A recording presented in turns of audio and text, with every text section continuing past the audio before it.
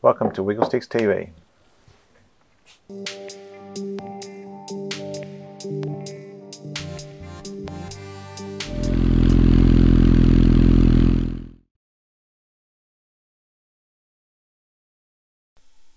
Got the rear brake uh, in now, which is good. Uh, had a slight issue, well, a couple of slight issues. I had this um, caliper mounting space or whatever it's called. I had that in back the front, and then I also had the spacer from this side on the other side, and vice versa. So once I pulled the axle out, uh, spun this around, spun the spacers around, uh, everything sits in there quite nicely. Um, I've got the master cylinder and everything mounted. Um, haven't bled the brakes yet, but it feel the action feels quite nice. I do have a slight problem with the clearance uh, in here of the bottom of the master cylinder and the swing arm. I think that is this part of the rear set here is either bent or I need to check on the other side to see um, see what damage is on there because I did uh, restore this set so uh, I have to pull this off and just see what's um, happening and then I need to move these little rubber things up the line a little bit so they fit into the uh, space a bit better. Uh, so I'm just going to go ahead now and bleed the system and uh, hopefully we'll have some brakes. System is all complete and working. Um, I have a little bit too much movement in the brake pedal but um, I'll look into investigations about how to resolve that later on. Um, everything's all mounted in place and everything now. Uh, when I spin the wheel, it uh, the brakes actually come on, so that's uh, a bit of a bonus, which we didn't have earlier on today. So um, new pads and new rotor, so it might just take a little bit for the everything to bed in a little bit, but um, yeah, just got to sort out these rubber things in the right spot and uh, it's all completed. So um, yeah, no leaks or anything so far. Uh, I do have to figure out this little gap that we were talking about before with the rear set, but um, I'll leave that for another day. Um, it's fine on the other side, it's just this side. Uh, there's a strange bit of a gap, so um, yeah another job off the list.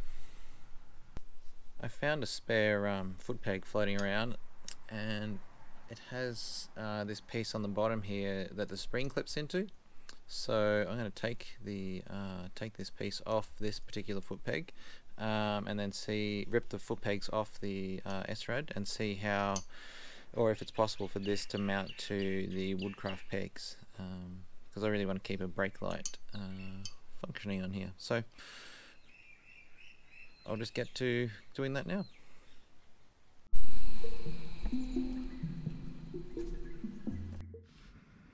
After a little bit more investigation, I think the issue is uh, in the the grooving inside the casting inside the um, in the swing arm. It's got this little ridge here and here, and the the base of the um, of the footrest here is just not sitting flushly so that it's resting in the corner of there um, rather than sitting flush where it needs to be. So I'm just going to go and uh, take a little bit off the corners there. These ones already have some off there but I think just take a little bit more off there um, and it should fit flushly where it's not knocking on this um, this little gap in the frame here. Rear brakes all mounted in now. Uh, I've got a spacer I filed this back on the other side and I've also got a spacer a spacer in there just to space it out from the frame a little bit.